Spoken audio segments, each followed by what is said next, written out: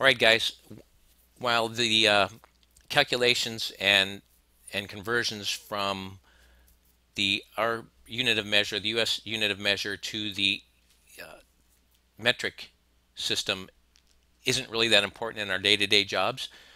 As an HVAC technician, being able to calculate the different areas and volumes of rectangulars, rectangular ductwork, square ductwork, rooms, and round ductwork is important to know and understand. So there's some basic mathematical calculations that we'll, we'll review here. Hopefully we all remember these from high school.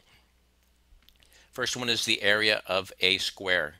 The area of a square is calculated by multiplying the length times the width and in this case that is 4 feet by 4 feet and that equals 16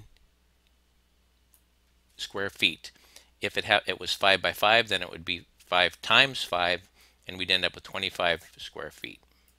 All right, and what that does is that calculates the that calculates the area of the square, which is represented by this the yellow here inside of this square.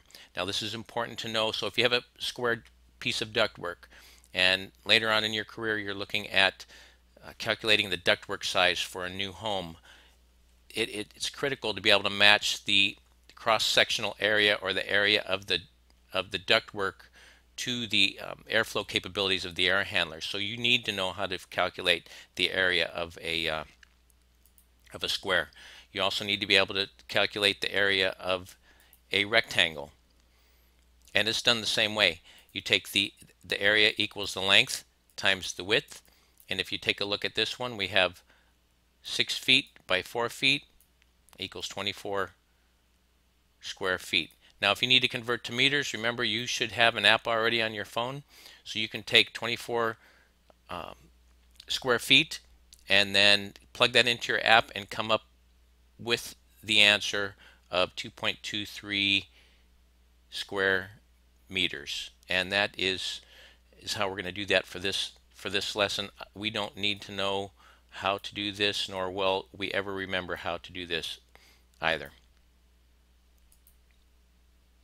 all right so calculating the area of a round piece of duct is a little more complicated and there are apps that'll take that area but and, and calculate the area for you.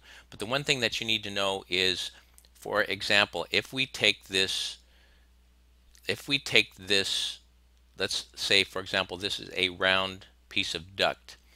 And I know this is in centimeters, but we're gonna we're gonna do it in a we're to calculate a little bit differently that makes it a little bit easier for us to understand.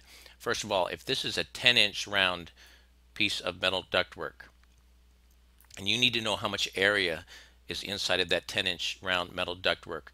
The formula is pi, and we'll talk about that in just a bit. So that that's that little symbol right there, times the radius squared. So let's go through that one at a time. Pi.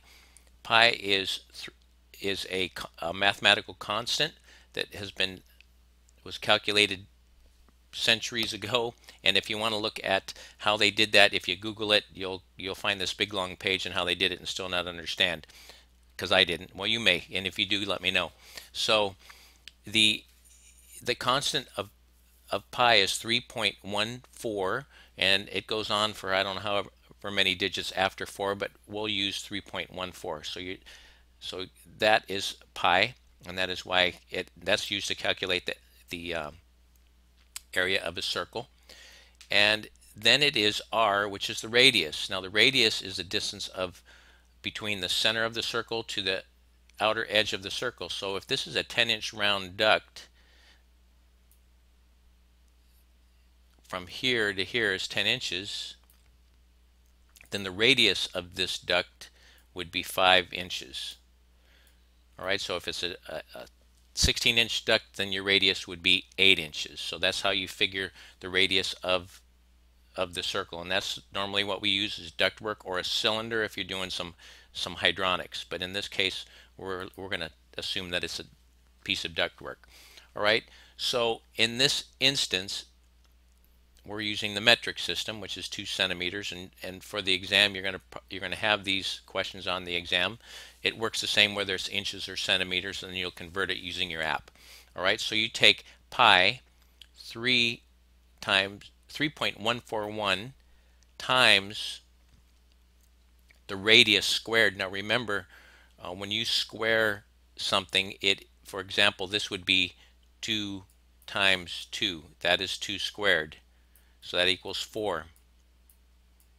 If this were a 10 inch round duct, the radius would r would equal 10 and then you have to take and you have to square 10 which is 10 times 10 so a number squared is that number multiplied by itself. So if this were a 10 inch round duct um, it would equal 100 r would in this formula the r squared would equal be equal to 100 does that make sense? All right so in this formula our radius is 2 centimeters, so it is pi 3.141 times 4, which is, is 2 squared, and it equals 12.56 square centimeters. And if this just happened to be inches, then it would be um, 12.56 square inches, or if this was a uh, two foot or four foot wide piece of duct with a two foot radius, it would be 12.56 cubic feet if it happened to be in feet. All right, so it gets confusing as you get into the centimeters, but don't worry about the value, just pay attention to it and calculate the area based on those numbers and then just pay attention to whether it is metric or the US system of measurement.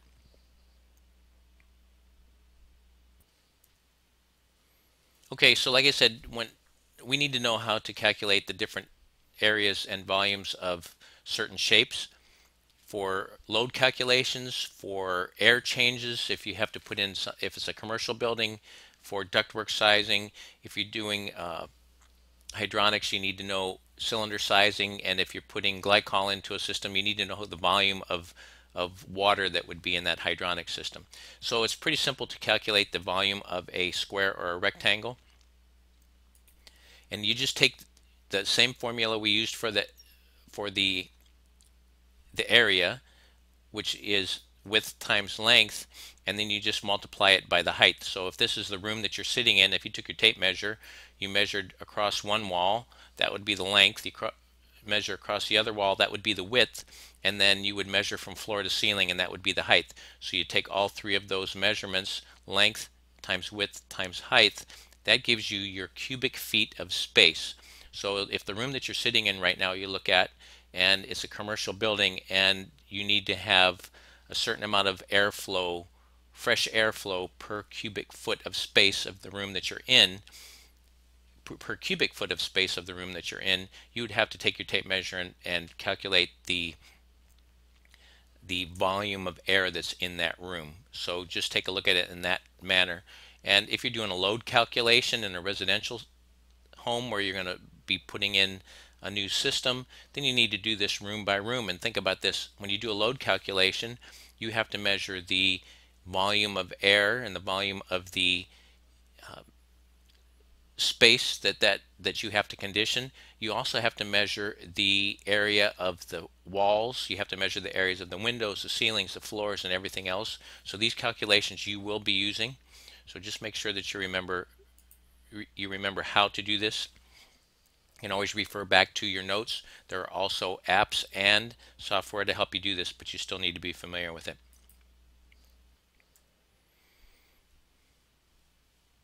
And like I said, it, volumes of fluid for a refrigeration system, oil, and um, additives for, for hydronic systems if, if you're far enough north where you need to worry about those freezing. Okay, so the volume of a cylinder. It's the same calculation as the, the area of a circle. So you take the pi, which is 3.141 times the radius from the center of the circle to the outer edge of that circle and you square the radius, which means you multiply the radius times itself. And then all you have to do is take the height and multiply it by height, and that'll give you your um, cubic feet or cubic centimeters, whichever you may be doing, volume of this cylinder right here. All right, so this is this would be for um, chilled water systems. If you have to have a certain amount of so many gallons of chilled water stored in a tank, or the same thing with with hot water, how many gallons you need, you need to be able to figure out the volume of the cylinder. All right, so that's the end of this lesson. Thank goodness. Just remember uh, how to figure out the radius of your uh, round duct for the volume of a cylinder and the and the area of a circle and become familiar with the apps that are available for you to use to do these calculations to make your job easier. All right guys, we will see you on the next lesson.